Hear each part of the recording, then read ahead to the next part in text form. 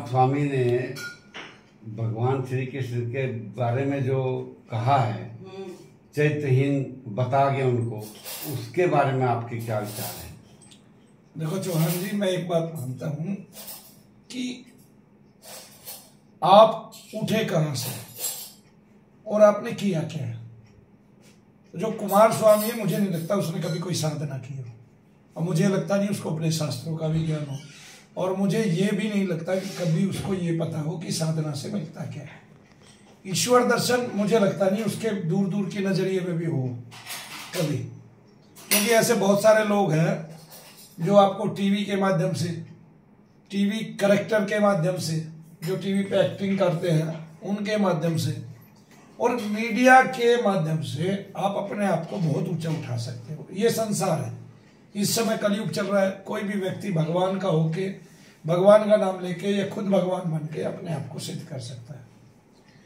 तो कुमार स्वामी ने भगवान कृष्ण को चरित्रहीन बताया। उन्होंने बताया उनकी एक सौ इतनी रानियाँ थी, सोलह सौ रानियाँ थी, सोलह हज़ार रानियाँ थी। हाँ जी, सोलह हज़ार रानियों के सबके इतने पुत्र थे, एक लाख साठ हज़ार पुत्र थे उनके, और वो चरित्रहीनता की निशानी उनको बता थे और उन सब के साथ वो जो है ना शयन करते थे ऐसे ऐसे एक तो कुमार स्वामी का चेहरा आप देख लीजिए। उनके दोनों नेत्र जो है वो कुट कोटर की तरह जैसे उसमें आज ही कबूतर अंडे देते ठीक है, इतने गहरे धसे हुए हैं। तेजहीन चेहरा है। सफ़ेद बाल है।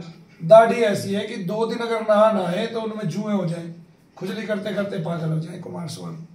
और ये जो कुमार स्वामी, ये कह रहा भगवान कृष्ण चरित्रहीन है, उनको शायद ये नहीं पता। 125 वर्ष के जब भगवान कृष्ण थे तब उनके बाल बिल्कुल काले एक भी बाल सब श्वेत नहीं था। बिल्कुल काले और घुंघराने थे। भगवान कृष्ण की देह से हमेशा पद्म गंध निकलती थी और भगवान चाहे शरीर के साथ आए कभी भी। भगवान चाहे शरीर के साथ आए उनकी जो देह है वो चिन्ह में होती है। क्या होती है? चिन्ह में देह होती है वैंधव देह होती है पवित्र देह होती है। और भगवान की देह से हमेशा सुगंधियाँ छिटकती रहती है। और मानव शरीर धारण करके भी उनका हर मास का शरीर नहीं होता। संसार के कल्याण के लिए उत्थान के लिए होता है।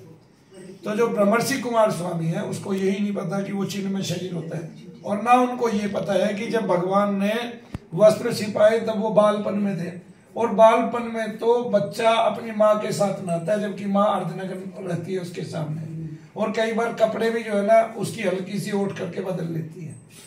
तो इस अवस्था में वो कोई उन पे भगवान पे आरोप लगा रहा है और उनकी विलक्षणता पे आरोप लगा रहा है तो मैं उसको मूर्ख ही मानूँगा।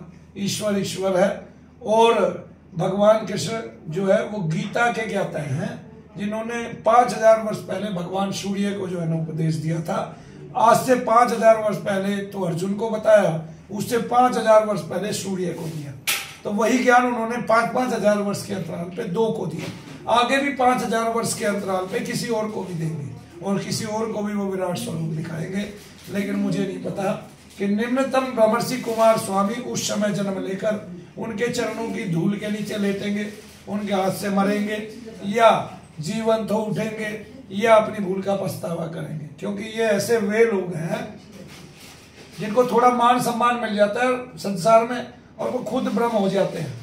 ठीक है किसी ने कहा थोड़ी ना आप ब्रह्मर्षि हो गए। आप परिभाषा बताइए आप ब्रह्मर्षि कैसे हो गए? ठीक है ब्रह्मर्षि की परिभाषा क्या है? आप महाब्रह्म होंगे बिना बात कही आप बताइए ये ऐसे ही है जैसे जहाँ से हमारी पुस्तकें छपती है उनका नाम है विजेंद्र गोयल जी। उनके पास एक आदमी आता था वो योग सिखाता था। तब वो योग सिखाता था उनका नाम था राकेश कुमार। तो उन्होंने एक पत्रिका छपवाई और जब पत्रिका छपाई वो योग सिखाने लगे दस बीस लोग योग सीखने लगे। तो उन्होंने अपना नाम रख लिया स्वामी राकेश। फिर उन्होंने देखा नाम का वचन नहीं अगली पत्रिका में उनका नाम हो गया स्वामी राकेश व्यू। ये वो है, ये कोई भी साधक नहीं है, कोई महात्मा नहीं है। ये कहता मैंने बीज मंत्रों से ये कर दिया, कुछ नहीं कर दिया। आप पाँच लाख लोगों को इकट्ठे कीजिए, तीन दिन का समागम कीजिए। वहाँ क्या होगा कि जिन प्रेतों ने शरीर में अभी अभी घर किए हुए छोड़ के भाग जाएँगे, उनसे जो जो बीमारी आपको हुई है वो बीमारियाँ ठीक हो जाएँगी। अब इसको महर्षि ये समझ रहे हैं कि मैंने बीज मंत्रों का वो कर दिया, उत्पादन कर दिया, और उन बीज मंत्रों से निकल गया। मनु भैया के सामने अगर उसकी ताकत हो किसी को ठीक करने की तो आ जाए मेरे पास बहुत सारे लोग रहते हैं, या उसके शिष्य स्वीकार करें। हज़ारों लोग मेरे पास रोज आते हैं, उनमें से एक आदमी को मैं बोलूँगा, वो उसको अपने सारे बीज मंत्र लगा के ठीक करके दिखा दे, और मैं उन्हीं के सामने आधे घंटे के अंदर ठीक करके दिखा दूँगा। तब तब उनको कम से कम अकल तो ठिकाने लग जाएगी। देखिए, अब चौहान जी, ये बताइए कि जब शरीर में रोग हो गया तो वो डॉक्टर ने ही ठीक करना था। फिर वो जगह जगह जाके जितने बाबा है वहाँ लोग ठीक कैसे होते हैं? ये बात सरकार नहीं देख रही, ये बात डॉक्टर नहीं देख रहे, ये बात कोई नहीं देख रहा।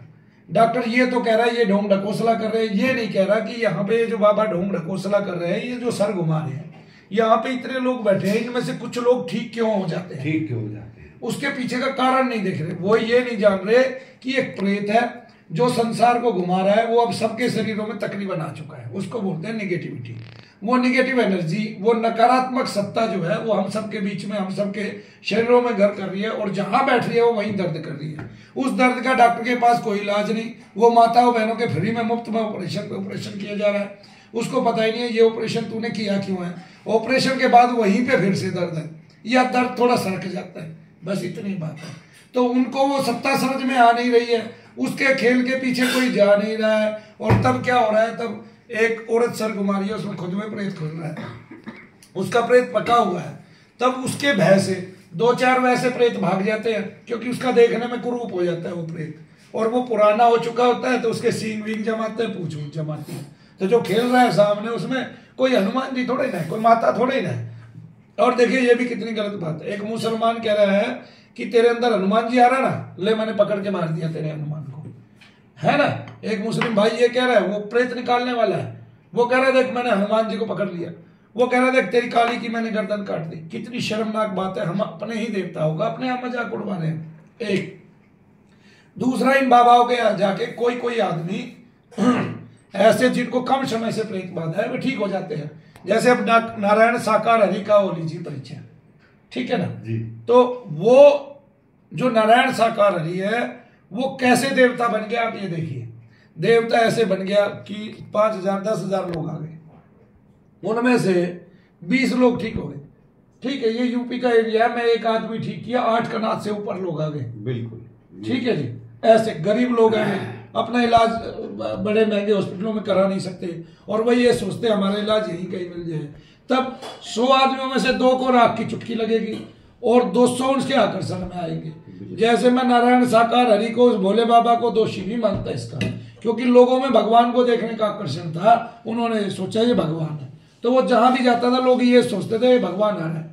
ठीक है क्योंकि उन्हीं के शिष्य मंडल इस तरह से उसको प्रस्तुत कर प्रस्तुत करते ये सारा कुछ तो मीडिया का खेल है। कुछ वैसा खेल है। अब देखिए ना तो डॉक्टर खोज कर रहे हैं कि तेरे से रोग ठीक क्यों नहीं हो रहे और ना वो और उल्टा ये कह रहा है कि ये बाबा पनप के पन्नप क्यों गए? क्योंकि इनके यहाँ जाने से दो चार दो चार लोग ठीक होते रहते हैं। और वो बहुत सारे लोगों को जोड़ते रहते हैं। इनसे उन्हीं लोगों को नहीं पता भाई तुम्हारे रोग ठीक क्यों हुए। अगर शारीरिक रोग होता तो वो बाबा से कैसे ठीक होता? और जब बाबाओं से ठीक नहीं होते नॉलेज किसी को है नहीं इसके ज्ञान। इसी तरह ब्रह्मर्षि कुमार स्वामी के सामने हुआ। पाँच हज़ार लोग बैठे हैं तीन दिन के लिए। उनमें से पाँच सौ ठीक होंगे ही होंगे। पाँच लाख लोग में से पाँच सौ ठीक होंगे ही होंगे। वो 500 आगे लोगों को बकाया रखेंगे। और उनकी जब गवाही चलेगी तो सौ ने भी आके ये कह दिया मेरी गांठ खत्म हो गई मेरे दर्द खत्म हो गए। तो वो क्या होगा? वो ब्रह्मर्षि कुमार स्वामी से जोड़े रखेगा। जोड़े और वो अपने नाम के आगे अभी महाभ्रम लगा रहे हैं। एक दिन महत भ्रम लगाएँगे एक दिन अपनी सत्ता ज़ाहिर कर देंगे। ये सब मैंने बनाया है सारा मेरा ताम जाम है। ये चल रहा है आज के टाइम में।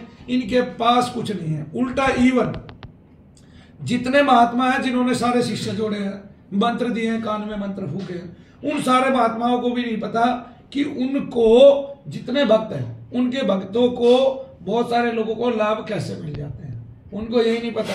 आपने जो मंत्र दिया है, वो मंत्र आदमी लोग जपते नहीं है, लेकिन जब गुरु ने दिया तो विशिष्ट वो जपने लगते हैं। ठीक है जी। जब वो एक दो महीने जपते हैं तो उसका फल आने लगता है। और जब फल आने लगता है, जो घर स्वस्थ होते हैं, उनको फल आ जाता है। और जो अगर अस्वस्थ होते हैं, जिनको एक दो महीने पहले कोई निगेटिविटी आई है, कोई प्रेत लग गया तो वो ठीक हो जाता है आदमी। तो वो कहते हैं गुरु ने सब कुछ कर दिया। इसी तरह से इन बाबाओं के पास भीड़ पे, भीड़ भीड़ पे, भीड़ भीड़ पे। अंतर का यानी मूल ज्ञान किसी को नहीं पता होता। इसलिए मैंने आपको ये विस्तार से समझाया है। ये सारा विषय और ऐसे तो जो बाबा बने हुए हैं जैसे ब्रह्मर्षि कुमार स्वामी ये नीच पामर है। ये धूर्त है बाबा कहाँ है? इसको ये ज्ञान नहीं कि ईश्वर की देह कैसी होती है वृंदा होती है। जो देवताओं के लिए भी दुर्लभ है। अब भगवान कृष्ण ने जन्म लिया। जन्म लिया जैसे ही वो प्रकट हुए जिसको तुम दुर्गा कह रहे हो जिसको तुम माता कह रहे हो जिसको तुम कल्याणी काली शिवा कह रहे हो वो ही आके कंस को ये बता के जाती है तेरे मारने वाला कंस पैदा हो चुका है मामा देखिए कितनी बड़ी बात है। उसको नीच को ये शर्म नहीं है कि आप भगवान कृष्ण को क्या कह रहे हो। क्या? ये किसी के सबके भगवान है जिन्होंने गीता का ज्ञान दिया आपने आज तक कौन से श्लोक की रचना की आपके पास क्या ऐसा अद्भुत ज्ञान है जैसा गीता में है? क्या भगवान कृष्ण के जन्म की आप कोई भी तुलना कर सकते हो? ठीक है कि नहीं? तो ये लोग जो हैं ये बिना बात के ब्रह्म शब्द को आगे लगा लेते हैं। इनको पूछो भाई तुम्हें ये संज्ञा मिली कैसे? तुम तुले कहा? नपे कहा? तुम्हारा वज़न किसने किया कि तुम्हें ये संज्ञा मिली? जो महाभारत में भीम बना था उसके कह देने भर से लोगों ने मान लिया कि ये ब्रह्मर्षि हो गए। उसके कह देने भर से लोगों ने मान लिया जो अरुण गोविल है कि ये ब्रह्मर्षि हो गए। उसके कहने भर से ये लोगों ने मान लिया कि जो अर्जुन बना था अरे भाई वो तो पैसे के लिए तो राम बने थे पैसे के लिए लक्ष्मण बने थे पैसे के लिए भीम बने थे और पैसे के लिए ही इनकी बढ़ाई कर रहे थे। सारे फ़िल्म इंडस्ट्री के लोग थे। तो ऐसे लोगों को इतना बढ़ावा मिल चुका है इस समाज में कि कबीर दास जी आए ना आए हमें कबीर दास जी की एक एक पंक्ति पकड़ पकड़ के ऐसे ऐसे लोगों को मज़ा चखाना होगा। उनको बताना होगा कि तुम्हारी औकात ये है और तुम भगवान को दोषी बता रहे हो। तुम्हें यही नहीं पता कि जब भगवान कृष्ण प्रकट हुए तो ब्रह्मा जी आए। हाँ जी, त्रिलोकी के नाथ नीचे आए ज़मीन पे बंधव देह लेके, वो चिन्ह में शरीर लेके। भगवान इंद्रियों के वश में कभी नहीं हुए। इसलिए वो इंद्रिया बनाते ही नहीं है। अपने लिए इंद्रियों का उपयोग ही नहीं करते, उपभोग ही नहीं करते।